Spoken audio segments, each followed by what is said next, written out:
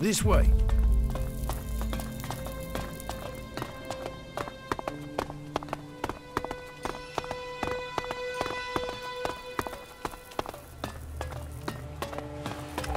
Welcome, brave traveler. Though you have walked far and the journey has been hard, you have now arrived in paradise. That'll be 200 shards admission, please. It's a wonder they recruit anyone for that price. You wait till you see the entertainment district, then say that. Only watch your heart if you do, Granddad. I'll give you entertainment when I shove a sword through your neck.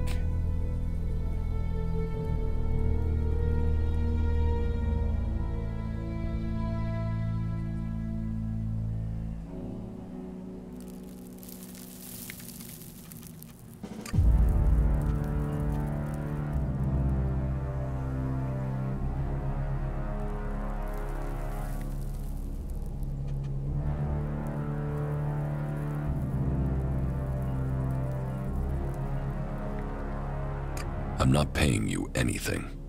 You walked across the desert to the doors of paradise and you don't want in? Okay, no problem. I'll do you a deal. Keep this quiet, okay? What say I let you in for free this time round, and then you pay me double next time. All right, I'll pay.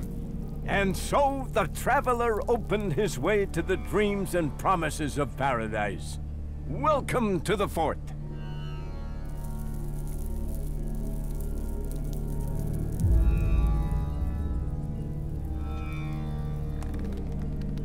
Can you buy Elex here?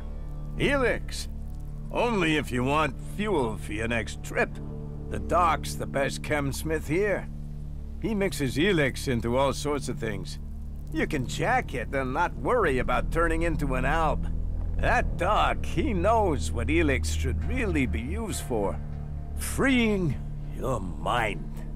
And that alb converter is gonna help us all find freedom. Woohoo!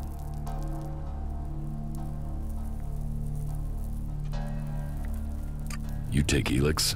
You sound like an alb. What? Screw that. I told you Chem set you free. They don't turn you into one of those robots. No, no, fuck that. And fuck the Albs. I'd be happy if they all died tomorrow. But no, you're not getting it, you see? Those Albs stuff their converter with everything that contains Elex, right? So they're doing the work for us. They set the machine up, we take the Elex. We liberate our minds. That's gotta be what the Duke is thinking. Why else would he let them stay there? He'll wait until that Elex is ready. Then we'll use our explosives to blast their asses back to Zakor. And the people that end up in the converter don't bother you? Screw them! Assholes were dumb enough to get caught. Dumbasses. Tell me about this place. Like what? What do you want to know? What do you think I should know? Right. Uh... Okay, so, uh, where do I begin? Do you know about Baxter? Bloody Baxter? He used to be in charge here. Baxter turned the fort into what it is today. Before that, they were just a bunch of ruins, full of scrap. A place to piss in out of the desert sun.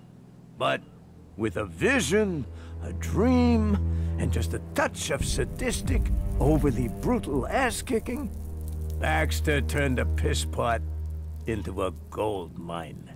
So, what happened to Baxter? The Duke happened. The Duke and his family. The Duke had the muscle, the connections, the firepower. And that sister of his? Nasty. She had the brains. Found the weak spots in the defenses and brought the Duke's men right in here. So Baxter got out. Fuck knows where he is now. Probably dead under a rock. But things aren't too bad under the Duke's leadership, I suppose. Life can be good if you don't cross him or his people. Tell me about his people. Well, there's his twin sister, Nasty. She can handle herself, but I get the sense she's bored in here. She looks after planning and things, but she's restless. Oh, and Don't try talking to her unless you have something real to say. She can't stand small talk, or people who don't get to the point. The point being shards, or fighting. Then there's his cousin William, plays the big man. And there's his favorites, Chloe, Blake, Big Jim, and Mad Bob. Just don't go calling Bob Mad Bob to his face. When you're talking to him, he's the scrap baron. And you know, they all make shards, so we all make shards. And there's talk about plans. Plans to make the fort something big. What with the Alb attacks and the clerics stealing our stuff, I think we're getting ready to show them we shouldn't be fucked with.